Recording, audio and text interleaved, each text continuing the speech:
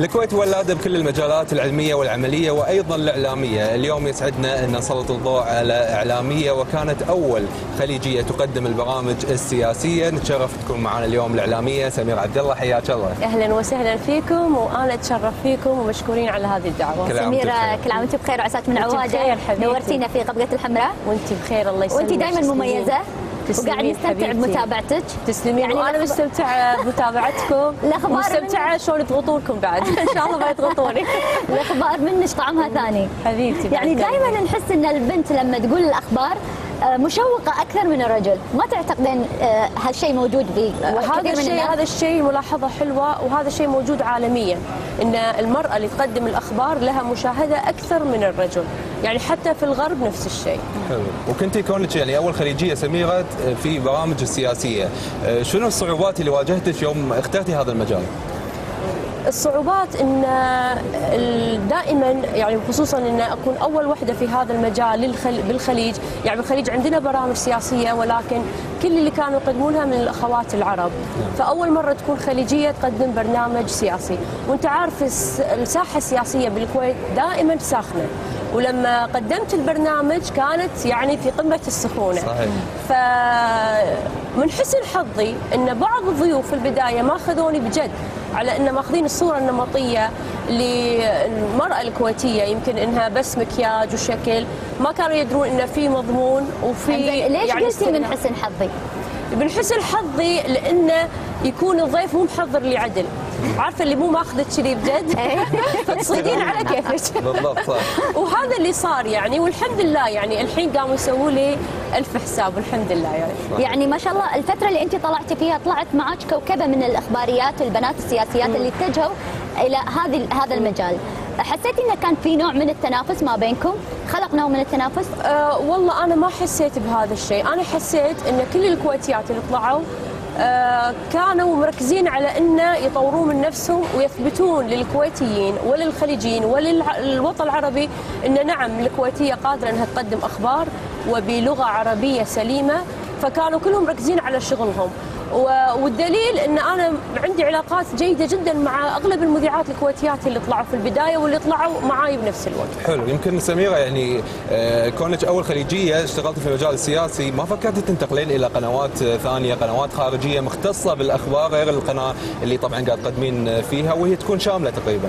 والله شوف في البدايات كان في هناك عروض إني أنتقل إلى قنوات أخرى ولكن هذه القنوات لازم آه، تتطلب إقامة دائمة في الدولة نفسها صح. فكان صعب علي إني أنتقل لهذه القنوات ولكن بعد ما صار عندي البرنامج آه ويعني بالساحة الكويتية أنت عندك المجال وعندك الحرية إنك تتناقش بالسياسة بنسبة أعلى من بعض الدول فقلت لا أقعد بديرتي أحسن والحين يعني بعد مسيرة عشر سنين آه، يمكن ما ندري يعني الواحد ما يعرف وين. القدر وين يروح يمكن يعني. لأن أنا أعرفك عدل أبي أذكر بداياتك. بداياتي بداياتي كنا نحاتي ردة الفعل. إنه هذا اللي قاعد أقول لك؟ أبي إيه. أعرف ردة فعل الأهل والمجتمع. إيه. آه، طبعا أنا وحصه بداياتنا. كنا في نفس القناة بعدين انتقلت إلى قناة أخرى محلية. آه، كنا نحاتي ردة فعل الأهل قبل الناس. صح. آه، لأن علاقتنا حميمية بالأهل وما كنا نبي نخسر أحد. في البداية طبعا أهلي كانوا رافضين هذا المجال تماما. الكل ما عدا أختي حبيبتي أميرة. فبعدين آه، مع آه، ظهور الإعلام ومع اللي شافوا وردة الفعل الحين كلهم يفتخرون فيني. واصلا لو يروحون مكان يتعمدون بالحديث يبون طاري إنه ترى مثلا أمي ترى بنتي مذيعة ترى فلانة هذه تصير لنا. فالحين الأمور صارت بالعكس تماما والحمد لله لأني بيضت وجههم وطلعت بالصورة المشرفة لهم الصورة المحترمة. حلو. دام تكلمتي عن البدايات يمكن أول ما طلعتي فكرتي إنك راح تاخذين الخط السياسي. لكن بعد العشر سنوات هذه وخلال تقديمك ما فكرتي شوي تطلعين للمنوعات أو البرامج الثانية؟ أو تحسين نفسك انت والله أنا قادرة يا سميرة أقدم نوع مختلف شوي. والله عبد الله إلى الآن آه، جتني عروض. يعني قبل شهر تقريبا يعني عرض إني أقدم برنامج اجتماعي ثقافي آه، وفي نوع من السلاسة والقطات المضحكة وكذي آه، هم في ناس يشوفون إن أنا هذه شخصيتي يعني أقرب إلى المشاهد من الأخبار. آه، أنا مصرة إني أتم في المجال السياسي. اولا أنا وايد أتابع السياسة من عمري تسع سنين إنزين آه بعدين آه آه ما أبي لأن أنا الحين طالعة في وايد بنات يتابعوني آه حابيني كمثال جيد لهم في هذه البرامج فما ابي كوني أول وحدة في البرامج السياسية يعني أي انحرف أو أغير الخط هذا فبالتالي البعض راح يفسره إنه كأنه نوع من الفشل صحيح. فإن شاء الله أنا مستمرة فيه يعني يعني لله. معروف عن رجال السياسة ومثلا السياسيين عندهم استراتيجية في في اللقاءات إنه دائما يطقون المذيع شوية عشان يخاف يعني يرجع شوية يخاف من الأسئلة القوية. طبعا. أكيد واجهتك هالموضوع هذا. وايد يا حصة. يعني وايد في مذ... آه، في ضيوف عيون ماخذين أه. فكرة إن هذه الم- المذيعة ممكن إنها تضغطك ممكن أسئلتها تكون يكون قوية. بهالموضوع. فإي ساعات بدون شيء ترى. ما أكون باديه اللقاء يبتدي آه، هو يشن هذا الهجوم. فالحمد لله دائما أنا أكون هادية وما أخلي الضيف يعني يجرفني في حوار شخصي. يعني عادة يسألك السؤال بشكل شخصي أو أنت رأيك شنو كنوع من. يعني بيحطك بالمطب يعني والحمد لله يعني للحين ما يعني صار الله الله ما انخلق للحين ما انخلق يمكن دام تكلمنا عن دورك في البدايات آه، سميرة نلاحظ إن اليوم المرأة ما شاء الله غير المجال السياسي أيضا في التواصل الاجتماعي مأخذة دورها وبحجم يمكن أكبر من الرجل. آه، أنت وايد متفاعلة في ال social media وفي البرامج السياسية آه، وعلى طول يقولون سميرة عبد الله بال explore تكون طالعة. كلمينا شوي على هذا العالم يعني كونك مذيعة وتقدمين نوع شوي مختلف اللي هو النوع السياسي. فيوم تتجهين لل social media هل الشخصية مثل ما قاعد نشوفها ونتابعها وايد مختلفة؟ لا وايد مختلفة. آه عبد الله هذه الم- المواقع هي مواقع للتواصل الشخصي. صحيح. يعني هذه المواقع أعطتنا إحنا كمذيعين الفرصة إن نتواصل مع الناس آه بثواني وإن الناس تعرف شخصيتنا الحقيقية. فأنا مو معقول ان الناس يشوفوني هني مذيعة أخبار أو برامج سياسية وأيضا في ال social media هم جايين بيعرفون شخصيتك. شخصيتك في البيت آه، اسلوبك آه، كلامك آه، الأشياء اللي انت تهتم فيها كل شيء طباخك سفراتك. فعشان كذي أنا معاهم يعني حالي حالهم. وبعدين أنا حتى كاتبة في البايو مالي إن أنا هني مو مذيعه أنا مواطنة وحالي من حالكم. نفس الصورة اللي قاعدين نشوفها هنا مع بعض. إي هذه حبيبتي ثريا اللي على اليمين. هذه فيشتي بن النمسا لما كنت موجودة بالنمسا لمدة أربع سنين. وطبعا أختي آه، أميرة حبي أنا أسميها مثل ما أبوي سماها على فيلم سعاد حسني. آه واللي وياها شروت حبيبتي مديرة الأخبار سابقا في قناة الرأي. وهي كان لها الفضل الكبير في تطوير آه، قدراتي ولغتي وحضوري على الشاشة. حلو. يمكن مثل هالصور أشياء مميزة تحبين تنقلينها للمشاهد والمتابع في الإنستغرام.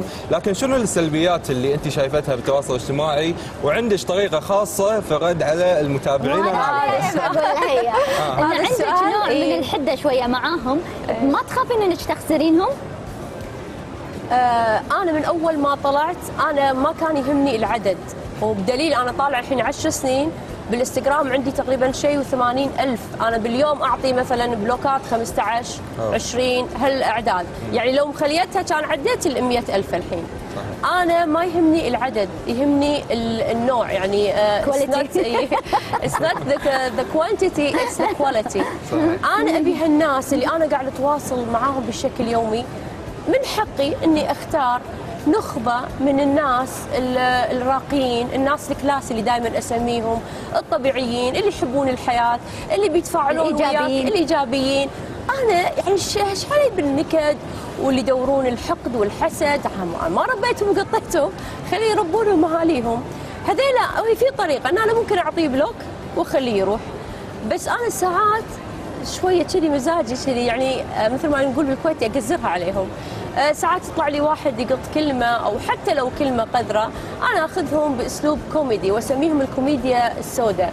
آه، هي فعلا الكوميديا بس ما تخافين السوداء تخسرين سميره الجانب الثاني اللي قاعد يتابعك واللي حاب شخصيتك العفوية لا بالعكس بالعكس. ب- بدليل إن أنا عندي متابعين من بداية للحين وياي متواصلين بشكل يومي ويحبوني ويحبون هذه الطريقة.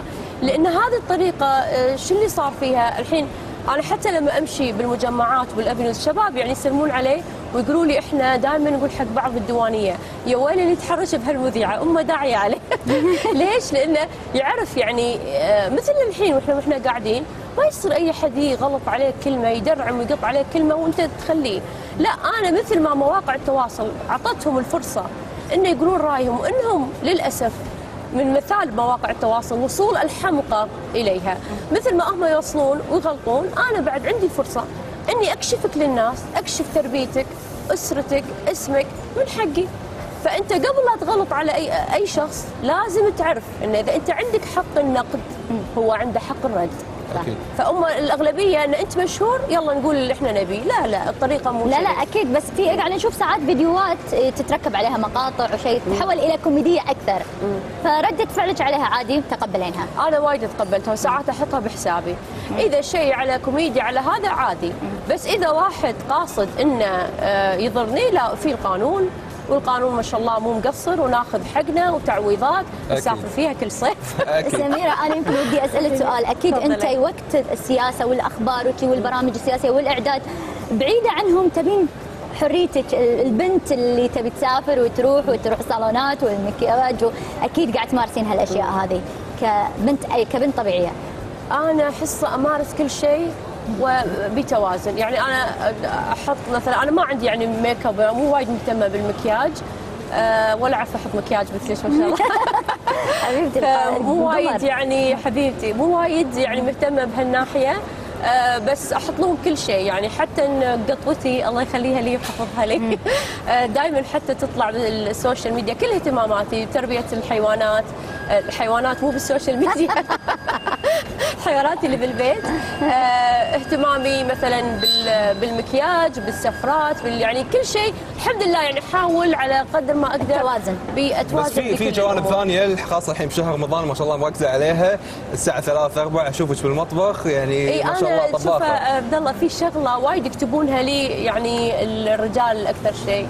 إن يشتكون مثلا ان الحريم الحين ما يطبخون. ف لا برمضان الكل يطبخ صراحة. اي لا الحين أركز على الأكلات السهلة. حلو. خصوصا في ناس يبون يدشون المطبخ هي ودها إن ريلها ياكل من إيدها بس تحس إن الطباخ وايد صعب. فأطلع الوصفات السهلة وما شاء الله متفاعلين وياي ويسوونها ثاني يوم. ويصورونها ويطرشونها نعم. عشان يعني نسكر شوي موضوع ال social media يعني احترامنا حق كل اللي قاعد يتابعونك والمشاهدين المتابعين اللي يتابعون سميره عبد الله أكيد ما تقصدين يعني أي كلمة في المتابعين يوم تكلمتي أو أي إساءة أو تجريح لا بالعكس أنت تتكلمين على ناس معينة الناس المتابعة الناس المثقفين راقي أكيد المثقفين اللي يحبون يتابعون آه، طبعا أنا الكلمة اللي قلتها إن اهتمامي بالناس الراقيين آه، الناس الطبيعيين أنا هذا لهم اهتمامي الباجي بالنسبة لي نكرة يعني الله يطلع لك أي. واحد ما تعرفه. أنا ودي أعرف السياسة شنو غيرت بسميره إيه. شكلها وايد بغيره شوفي حصة انت لما قبل تقرين الأخبار أو تسمعين الأخبار أو تقرين المقالات أو تشوفين خصوصا إحنا خلينا نتكلم بس في السياسة المحلية آه تقرينها و... وتعرفين مثلا المواضيع وكذي بس لما تكونين أقرب إلى السياسة. يصير في نوع من يعني تخافين أكثر على الأوضاع عرفتي؟ تخافين أكثر. آه لأن آه للأسف للأسف يعني أغلب السياسيين هم يت- يتبعون مصالحهم الشخصية مو آه. مصالح البلد. وهذا الشيء وايد يخوف. يعني قلة من السياسيين اللي فعلا يهتمون بالمواطن الكويتي. قلة. فهذا وبشخصيتك الشيء. يخوف لأن انت تشوفين أغلبهم همهم بس نفسهم. الاستعراض هذا همهم ال- الأصوات الانتخابية مو همهم البلد. هذا الشيء اللي يضيق الخلق. يعني تكتشفين الحقائق. أكيد إحنا ما نعمم يعني نشكر آه، أكيد في ناس آه، تحب هذا الوطن وتخدم هذا الوطن إحنا وقايمة شوف على عبد الله واجبها بقول لك شغلة. بالنسبة للناس اللي يأخذون الكلام ويعممونه أنا دائما أقول إن التعميم من طبع الغشيم. أكيد بالضبط. يعني كل كلمه إحنا نقولها كل قاعدة لها استثناء بالضبط. مو معقولة يعني أي إنسان يتكلم لازم كل دقيقة يقول البعض والبعض والبعض. وانت. أخبار يعني المفروض يعني يعني أكيد. لازم خلاص يفهم المشاهد إن أنا ما أقصد الكل يعني. مو معقولة نحط البعض على يبهتنا يعني. أكيد مع احترامنا أكيد لكل من قاعد يتابعنا. ولك أنت اشكرك اليوم على وجودك شرفنا بوجودك سميره عبد الله تسلمون ما قصرتوا وإن شاء الله ما أكون يعني ضيفه ثقيله عليكم امتعتينا مسات من عوادة إن شاء الله حبيبتي حصة وأنا والله فرحانة لك يا حصة إنك. وصلتي وأعرفك من بداياتك وأعرف. أخلاقك وأدري إن شلون أنت كنتي فعلا بتقدمين صورة حلوة للبنت الكويتية حبيبتي تسلمين وإحنا. كذلك سعيدين بتواجدك وأنت مثل ما نقول افتخرنا بإنجازك وسعيدين بتواجدك ويانا. ونجاحاتك الم- المستمرة والغالب غالب والدرع ينن حبيبتي مشكوره حياتي مو أحلى العافية. منك حبيبتي وأنا بقدم لك هذه وأنا- النقصه بعد آه، والحمد لله أن عبد الله ما ضغطني نفس ما يسوي لا لا غير ضغط. البرامج الفنيه غير اليوم إن شاء الله. برمضان شوي الحمد لله. يعطيك الف مشكوره لله. هذه نقصة من الإعلام تسلم. مجموعة ثقافية تماشي أكيد مع شخصيتك قصرتوا الثقافية وتسلمون ما. قصرتوا. وشكرا وشكرا للمعدين للأخ إبراهيم الضعيان. وللقاسم عبد القادر شكرا أكيد. إحنا راح ننتقل. ويا فقرة ثانية من فقراتنا. نشوفهم بعد الفاصل أكيد.